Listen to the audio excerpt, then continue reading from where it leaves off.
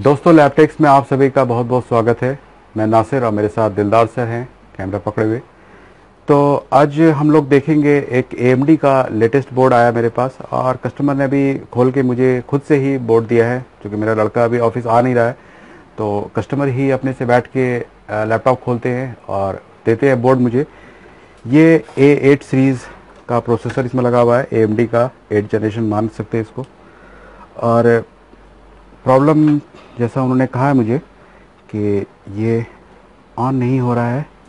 Battery से शायद चल रही है और क्योंकि मैंने अभी चेक किया नहीं है तो आइए अब देखते हैं हम लोग। तो ए तो ऐसे मुझे ज़्यादा पसंद नहीं है। ये बोर्ड का पार्ट नंबर देख सकते हैं। एन एम हाइफन ए आठ सौ इकतालीस। ये है। पावर लगाते हैं इसमें। तो पावर यहाँ देख सकते हैं आप पावर लगाया मैंने। तो इसका लोड ठीक ठाक उठा रहा है। और यही इस पर इसी के पास ऑन ऑफ़ स्विच है यहाँ पर। देख सकते हैं आप, ये ऑन ऑफ़ स्विच है। इसको ऑन करने से ये ऑन हो जाना चाहिए था। लेकिन यहाँ पर कोई भी लोड नहीं है, ठीक है? तो सबसे पहले हम ये देख लेते क्या ऑन ऑफ़ पर वोल्टेज बन रही है। मुझे ऐसा लग रहा है यहाँ से देख करके कि 19 वोल्ट और तीन पाँच तो बन ही रही होगी। ऑन ऑफ़ पर ही कंफर्म कर लेते हैं पहले। तो वोल्टेज तो है यहाँ पर, और जब मैं ऑन ऑफ़ का बटन प्रेस करता हूँ तो ये ठीक है, ये डाउन भी हो रहा है, ठीक है?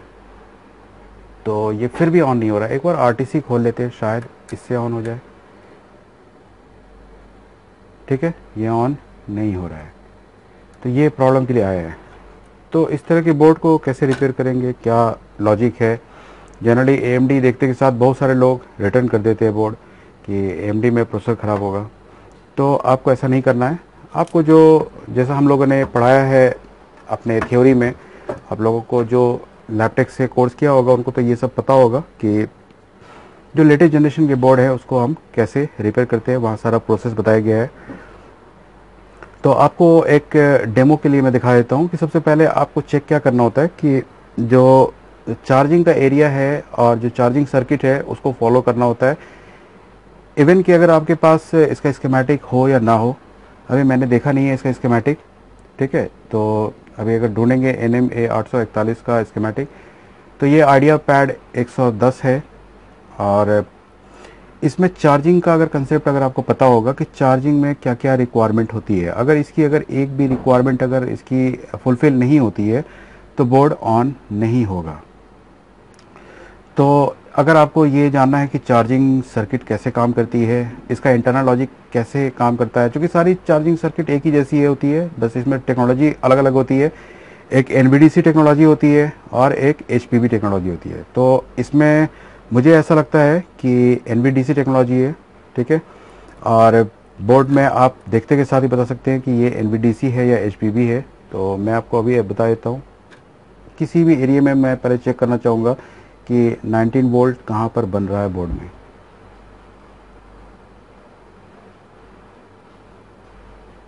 तो ये अभी अडेप्टर लगाया नहीं है मैंने और मैं वोल्टेज चेक कर रहा हूँ।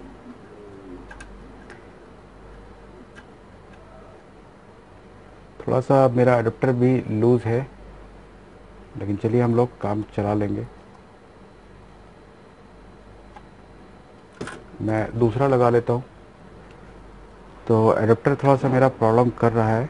तो आप यहाँ पर देख सकते हैं, मैं चेक कर रहा हूँ कि किसी भी एरिया में जहाँ पर 19 वोल्ट आती है तो ये एन टेक्नोलॉजी है, जैसे आप देख सकते हैं, यहाँ पर 18 वोल्ट बन रहा है। एच में क्या होता है कि हाइब्रिड बूस्ट पावर होती है वो, और चार्जिंग आईसी और बैटरी मिल करके सप्लाई देती रहती है बोर्ड को, और बोर्ड चलता रहता है। तो ये सारी चीज़ हम लोगों ने अपने वीडियो कोर्स में डिटेल से बताई है। बारह घंटे का सिर्फ़ चार्जिंग का वीडियो मिलेगा आपको और छः या सात पार्ट में होगा वो तो आप उससे फ़ायदा उठा सकते हैं। अगर आपको ये जानना है कि सीआरओ कैसे काम करता है तो उसके लिए भी अलग से आप वीडियो ले सकते हैं। पूरा कोर्स करने की ज़रूरत नहीं है।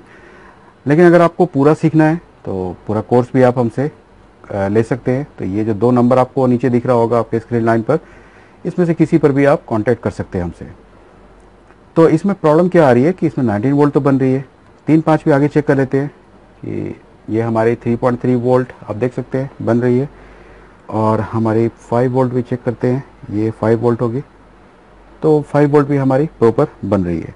अब जब मैं ऑन कर रहा हूँ तो ये ऑन नहीं हो रहा है। ठीक है? यहाँ से ऑन कर रहा हूँ मैं ऑन नहीं हो रही है।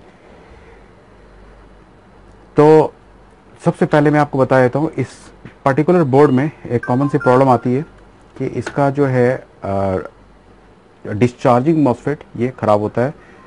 तो ये वाला एरिया है, इसको हमेशा आप याद रखेंगे इस बोर्ड में। डायरेक्ट मैं आपको सॉल्यूशन दे रहा हूँ। इतना आप लोग अच्छा कमेंट करते हैं तो मेरा भी ये फ़र्ज़ बनता है कि आपको कुछ टिप्स एंड ट्रिक्स देता रहूँ। और इसी तरह से आप लोग प्यार करते रहिए कमेंट करते रहिए। तो ये वाला पॉइंट आपकी ख़राब होती है इस बोर्ड में। जितनी बार भी मेरे पास आया है डेट के कंडीशन में तो यही यूजुअली ख़राब निकलती है। दूसरा इसमें प्रॉब्लम आती है इसमें एक ये चार्जिंग ऐसी लगी हुई है जो कि आपको फ़र्स्ट सेकंड जनरेशन में एच में लगी रहती थी ये अखिलेश यादव वाले में भी लगी रहती है ये। तो ये चार्जिंग ऐसी आप वहाँ से भी निकाल सकते हैं एच के पुराने मॉडल से। और बाकी जो है इसमें आ, मैं नंबर बता देता हूँ आपको। ये नंबर है eight six eight two L के नाम से। तो एल वाली आईसी भी आती थी पहले। और इसको हम लोग अब रिप्लेस करेंगे। तो यहाँ पर देख लेते हैं ये कौन सा चैनल है। तो ये यहाँ पर हमें चैनल के बारे में यहाँ से कुछ पता नहीं चल रहा है। तो हम कैसे कंफर्म करेंगे कि यहाँ पर कौन सी चैनल लगेगी?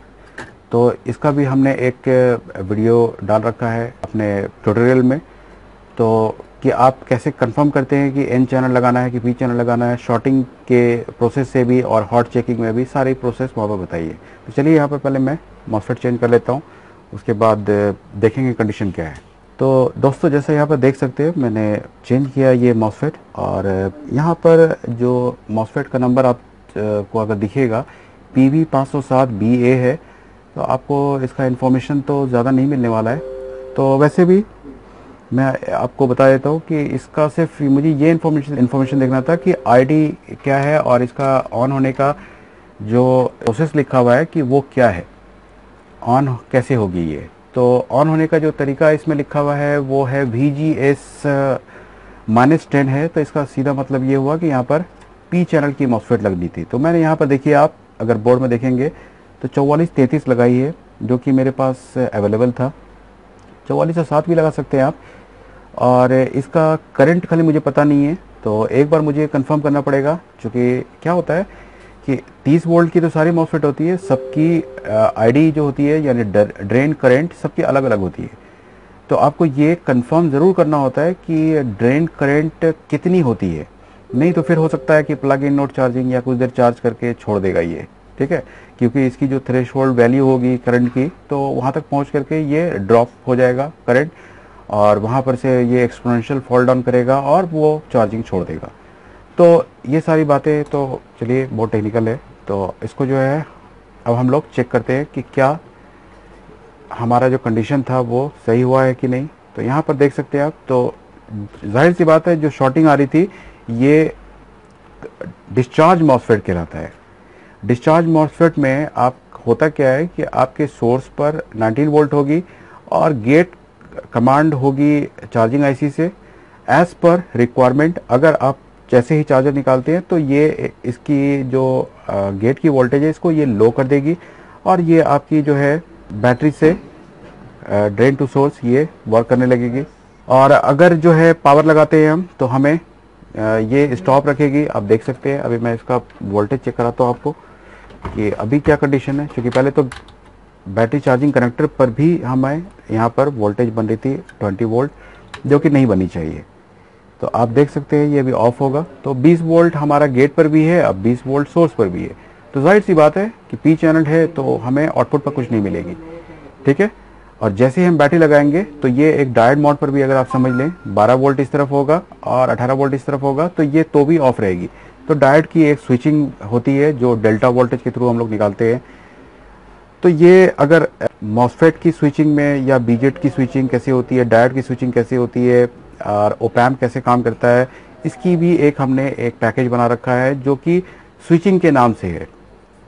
अगर आप लैपटॉप रिपेयरिंग नहीं करते हैं, किसी और जैसे डेस्कटॉप रिपेयर करते हैं या मोबाइल रिपेयर करते हैं तो आप उस पर्पज़ के लिए भी आप वो वीडियो ले सकते हैं, जो कि स्विचिंग के नाम से है, जिसमें जितनी बोर्ड में कंपोनेंट लगती है, जो स्विचिंग का काम करती है, उसके बारे में हम लोगों ने डिटेल से बताया तो अब आगे देखते हैं हम। तो ये तो चलिए रही बात कि अगर आपको सीखना है तो आप उसके लिए हमसे कांटेक्ट करेंगे। तो इसमें जो केस आएगा आपके पास तो ये केस आपको कुछ इस तरह से होगा। अडेप्टर्स नहीं चल रहा होगा बैटरीज लेकिन लैपटॉप ऑन हो रहा होगा। तो अगर ऐसी केस आती है तो आप ज़रूर देखिए कि जो आपकी डिस्चार्जिंग मॉसफेट है, वो सही है या नहीं है। अगर अभी भी ये नहीं चले तो हम ये चीज़ चेक करेंगे कि इसकी जो ड्रेन करंट है, वो प्रॉपर मैच नहीं हो रही है। तो इस बात का हम ध्यान रखेंगे। तो अब चलिए पावर लगाया हमने और जैसा कि आप देख रहे हैं कि ये लोड ठीक उठा रहा है। अब ऑन करते हैं एक बार। ठीक है? ये देख सकते हैं, ये प्रॉपर ऑन हो चुका है एडेप्टर पर। तो कंप्लेन यही थी। कस्टमर ने मुझे कहा था कि एडेप्टर से नहीं चल रहा है और मैंने पूछा भी नहीं कि बैटरी से चल रहा है कि नहीं चल रहा है। अब ज़रूर पूछूँगा मैं, पहले एडेप्टर से नहीं चल रहा था, ये तो कंफर्म था तो मैंने जो काम किया आपको दिखा दिया है। तो दोस्तों आई होप कि आपको ये केस स्टडी पसंद आया होगा। अगर पसंद आया है तो आप इसे लाइक करिए और अपने कॉमन ग्रुप्स में इसे शेयर ज़रूर करिए।